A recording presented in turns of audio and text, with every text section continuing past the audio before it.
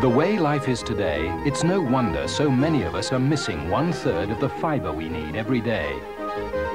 Did you know 9 out of 10 of us aren't getting enough fiber in our daily diet?